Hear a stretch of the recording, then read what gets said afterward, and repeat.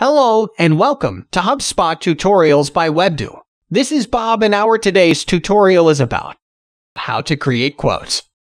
In HubSpot, you can create quotes to share with contacts interested in buying a product or service from their company. Let's see how you can do this.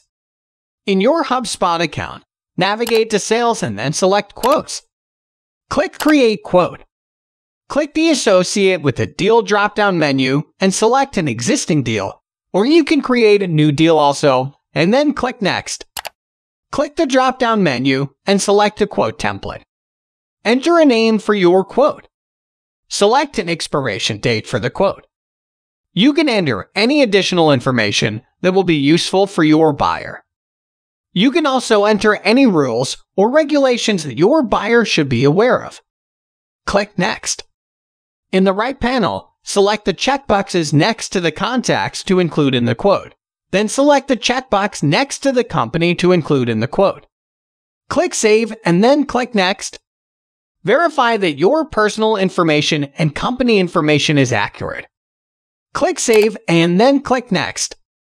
To add line items, you can add them from the product library or you can create a custom line item on the spot. Select the line item from the library and select and click Add, or if you are creating a line item on the spot, fill in the relevant details for line item creation the same way we create products. You can also add one-time discounts, fees, or tax, and you can delete it at any time by clicking on trash icon. Then click Next.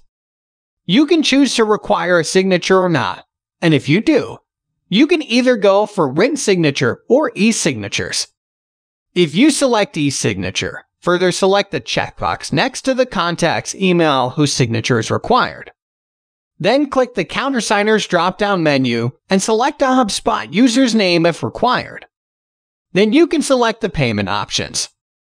Lastly, review your quote and then click Create Quote.